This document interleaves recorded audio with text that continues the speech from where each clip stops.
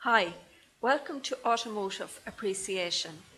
In this course, we will learn about the operation of cars. Topics include engines, transmission, steering, suspension, brakes and electrics. We start with a four-stroke engine in operation. Intake, a mixture of fuel and air is drawn into the cylinder. Compression, the piston compresses the mixture. Combustion, compressed gas is ignited by a spark plug and exhaust, burnt gases are expelled from the cylinder. Note the camshafts which operate the valves only rotate at half the speed of the crankshaft. This is achieved by using larger diameter pulleys on the camshafts. The timing belt ensures that the valves open and close at the correct time relative to the position of the piston. We take a look at the engine components. At the top, we have the camshaft, which controls the inlet valve, allowing fuel and air into the cylinder. The block houses the main components of the engine and is cooled by the water jacket. Oil is stored in the sump and is used to lubricate the engine. The crankshaft is supported by bearings at the bottom of the engine. The cylinder liner provides a smooth surface for the piston to move inside, while the conrod connects the piston to the crankshaft thus converting reciprocating motion of the piston to rotational movement of the crankshaft. At the top is the head gasket, which provides a seal between the block and the cylinder head. The exhaust valve is also controlled by a camshaft. It allows the waste gas to exit from the cylinder. Finally, at the tip of the spark plug, the high voltage electricity jumps across the gap and ignites the fuel. It's important to change the timing belt at the recommended service intervals. Here we will see what happens if the timing belt breaks.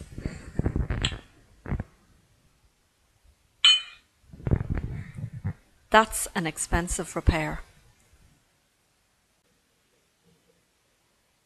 We must remember a four-stroke engine only provides power on the combustion stroke. The other three strokes actually take power from the engine. To account for this intermittent supply of power, it is normal to have a number of cylinders in the same engine. In this case, a four-cylinder engine. All cylinders will have staggered combustion strokes. For this engine, the firing order is 1, 3, 4, 2. This firing sequence is used to reduce the engine vibration. A flywheel is attached to the end of the crankshaft to reduce pulsations and vibrations.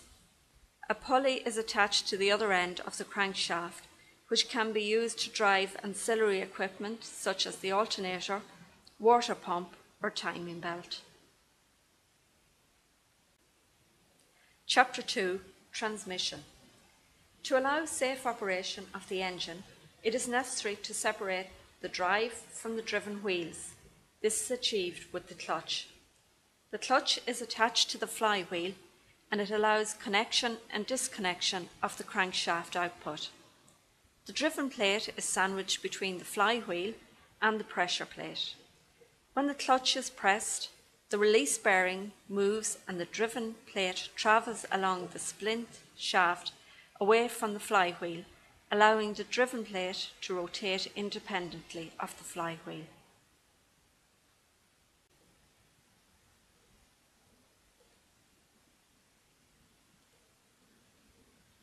We see when the clutch is pressed, the driven plate can move independently of the flywheel and pressure plate.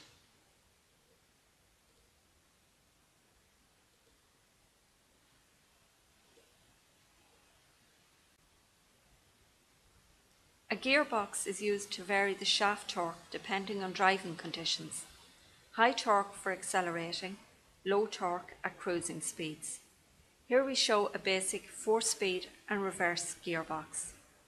It consists of number of gears, wheels, which can be intermeshed when required. Input shaft from gearbox.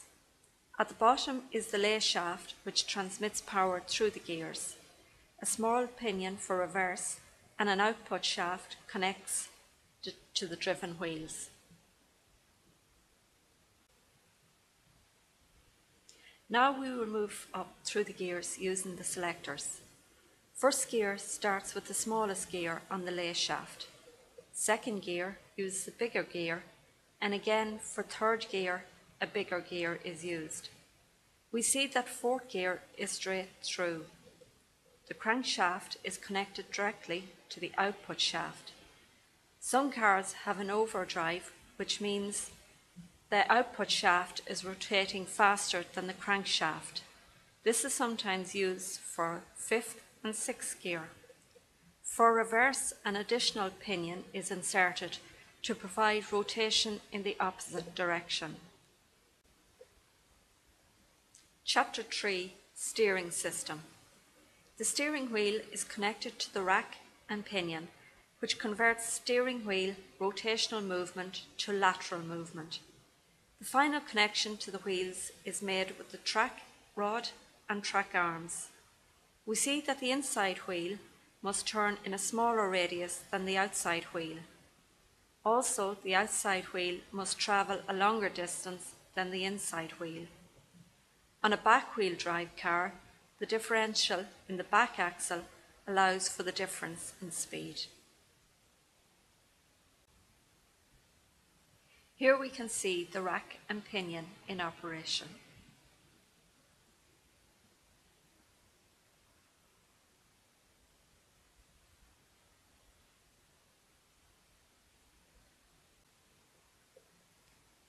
Chapter 4 Suspension System The suspension on a modern car uses springs and dampers.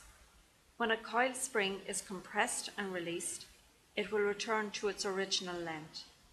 A damper or shock absorber is used to damp down the oscillations of a spring. It consists of an oil filled chamber, and the flow of oil through the piston is restricted by a small orifice. When the top rod moves down, the gas below the bottom piston is compressed to allow for the extra rod volume.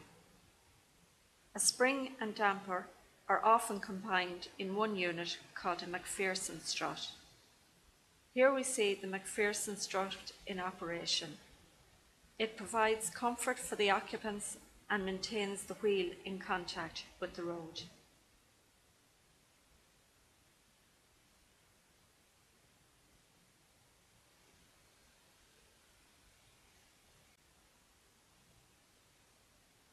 When a car is moving, it is important to have a safe, reliable means of slowing it down and stopping it in an emergency.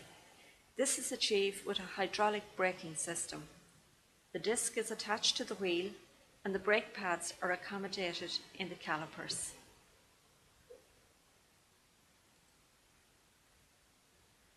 A reservoir provides a supply of oil to the master cylinder. When the brake is pressed, piston pressurizes the oil and activates the wheel chambers, clamping the wheel disc between the pads thus slowing down the wheel rotation.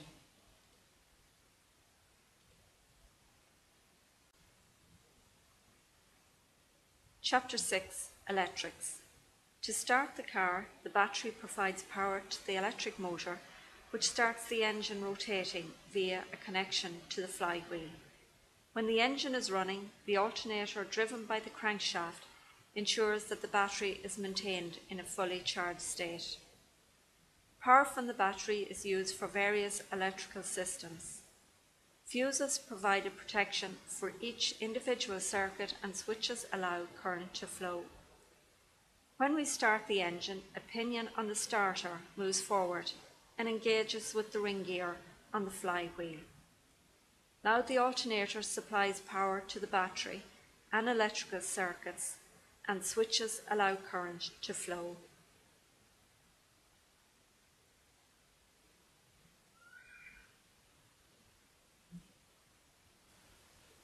We hope you learned from automotive appreciation.